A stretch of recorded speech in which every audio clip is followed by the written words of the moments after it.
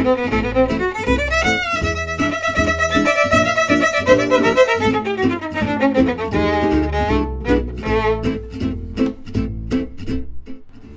Hi, I'm Matt Westwood, and I'm very excited to be coming to my very first Oz Manouche this year with my band, the Gypsy Jumbucks.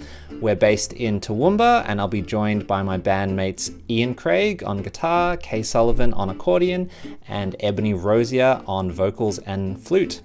We'll be playing on the deck and hosting a jam session on the 24th of November. It'll be terrific fun, and I hope you'll come and join in.